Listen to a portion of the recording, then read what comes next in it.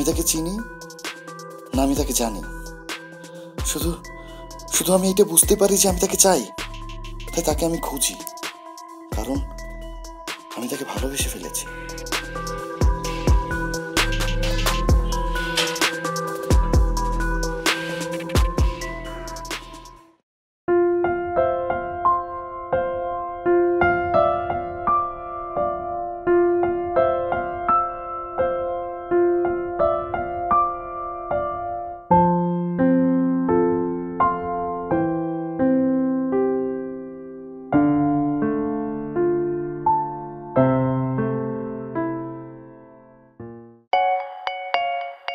আচ্ছা একটা জিনিস আমি লক্ষ্য করে দেখলাম তোর মানে ব্যস্ততার কারণে কথা বলতে পারি নাই।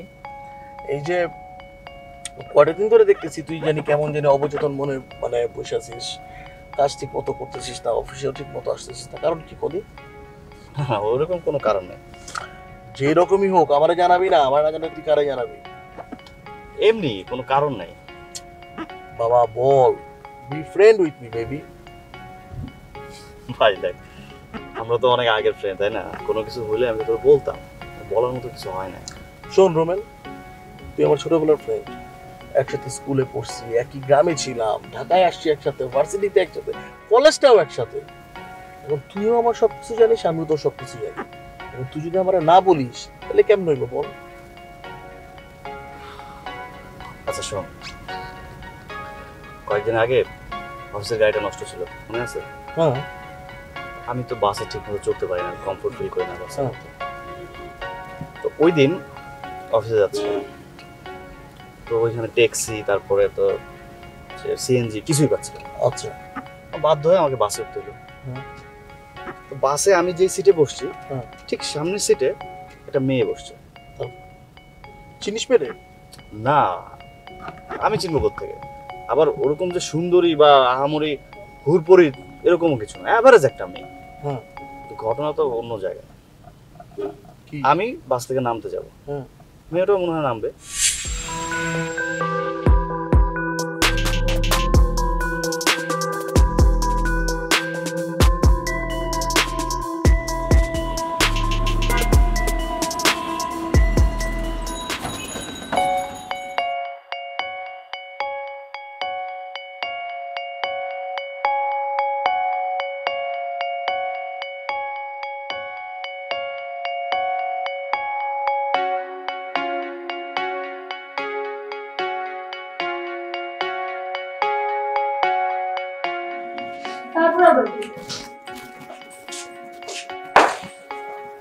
ভদ্রলোক চলে গেল।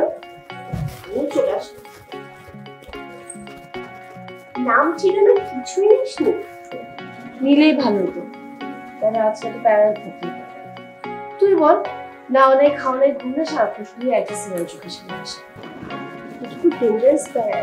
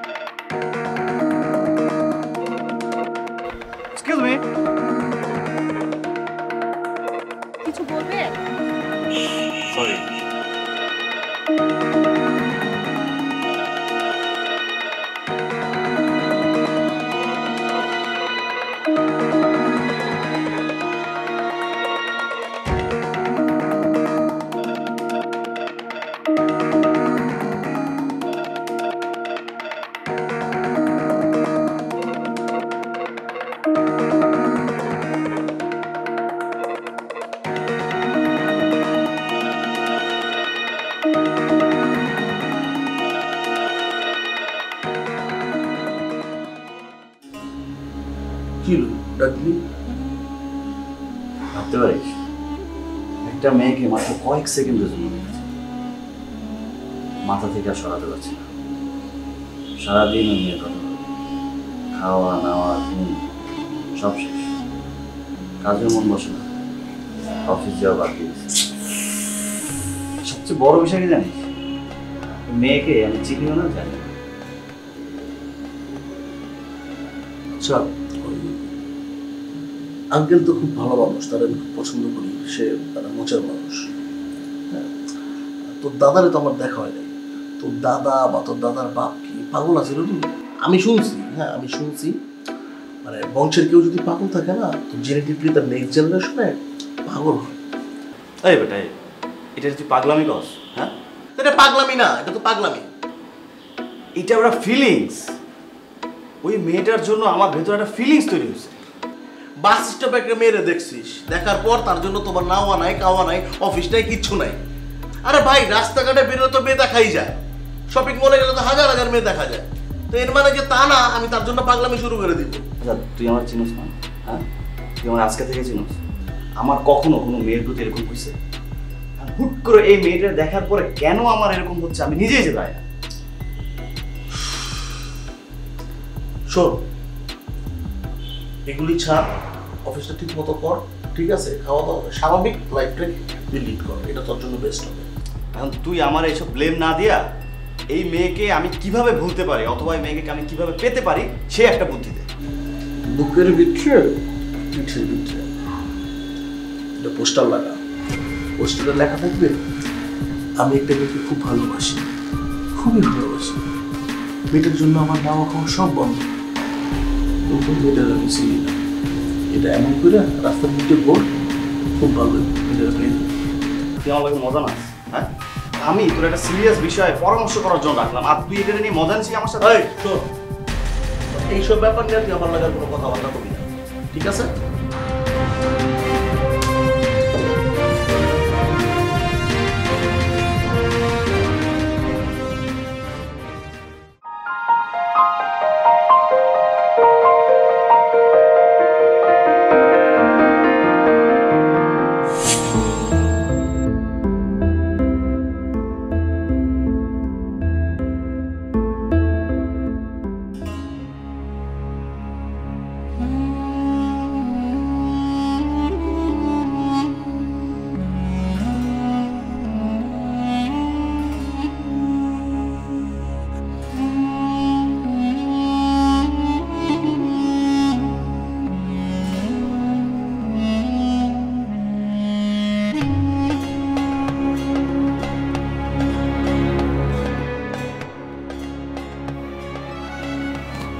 পাগলামি বাদ তুই যত চেষ্টাই করিস না কেন, নাম ঠিকানাবিহীন হয়েছে সেটাকে তুই কোনোদিনও খুঁজে পাবি না।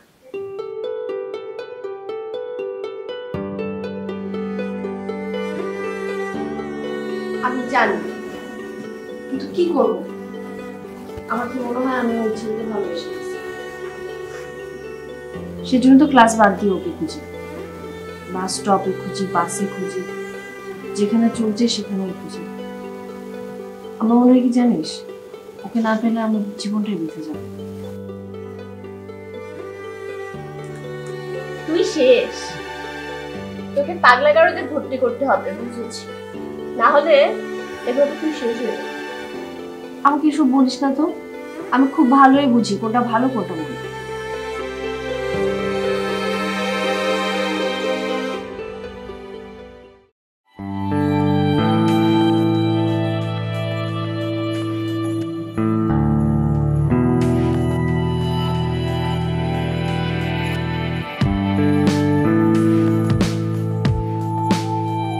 কাজ কর।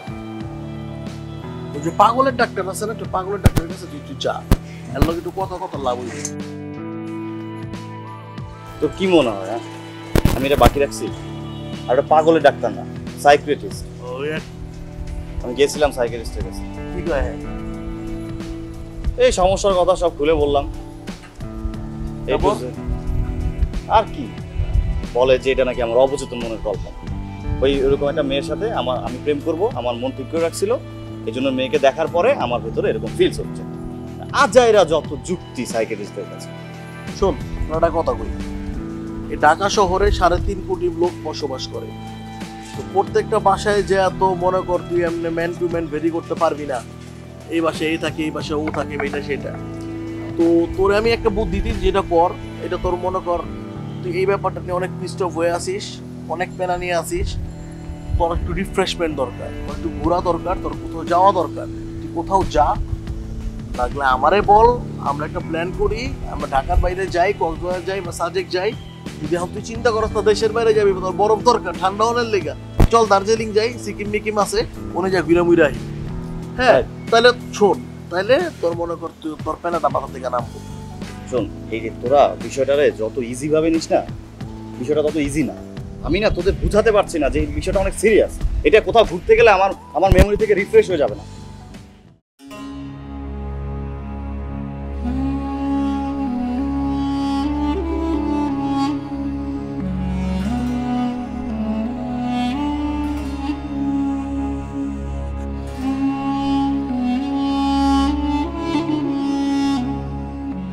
আমার কি মনে হয় জানিস?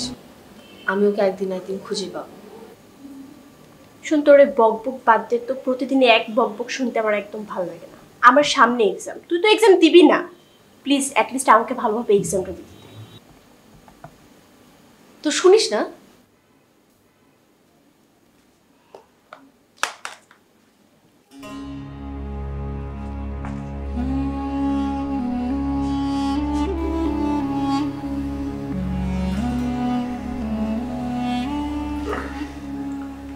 কি ব্যাপার?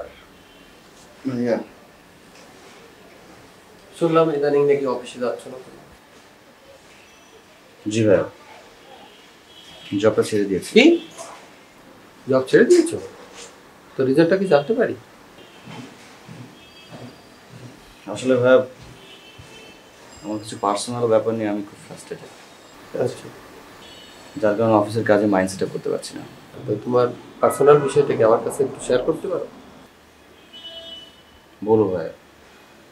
কিছুদিন পরে বলি। ঠিক আছে। তোমার প্রতি আমার বিশ্বাস আছে। তোমাকে তো আমি কোনোদিন কোনো কিছু বিষয় নিয়ে জোর করিনি। তুমি যেটা বলবে নিশ্চয়ই ভালো মন্দ বুঝেই আর ওয়েলকাম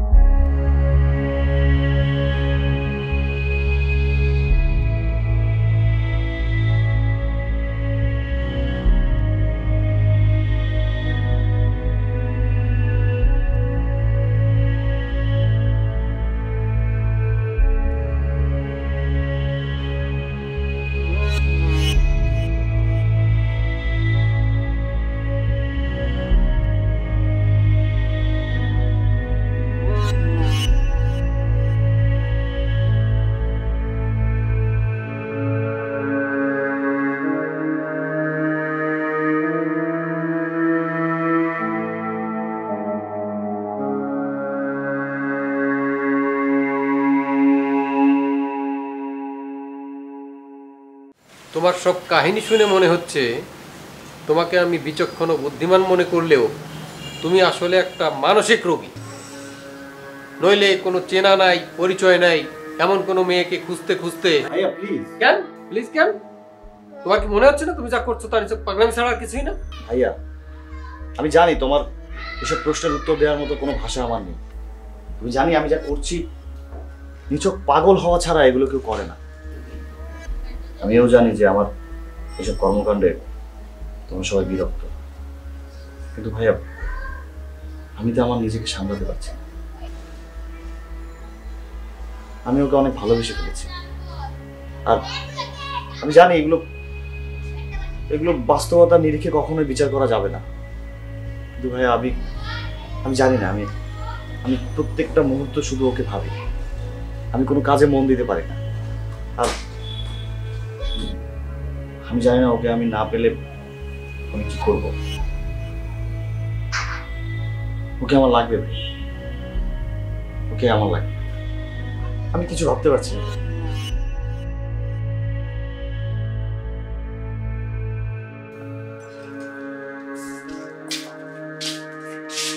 শোন, তুই যা শুরু করেছিস না, তাতে আমাদের মান সম্মান বলে আর কিছু থাকবে না।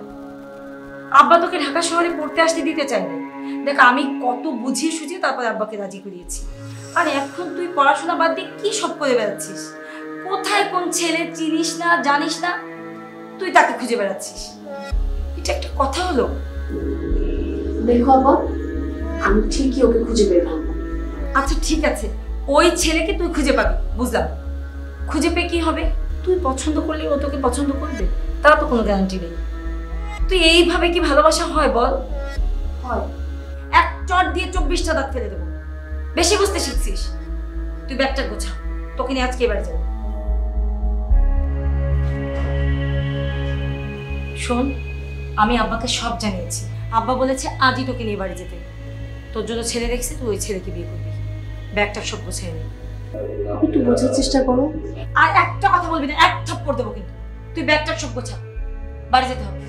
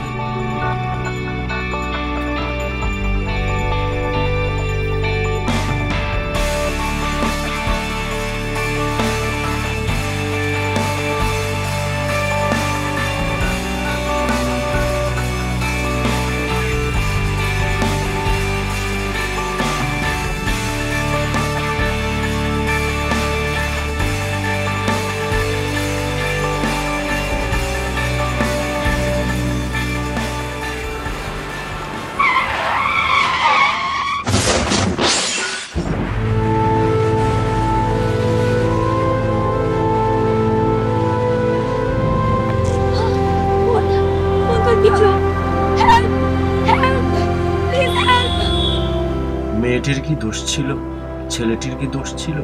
তারা তো ভালোবেসেছিল। দুজনেরই সুন্দর একটা স্বপ্ন ছিল। তবে দোষটা কার ছিল? ছেলেটার, মেয়েটার, নাকি ঘাতক বাসটির চালকটা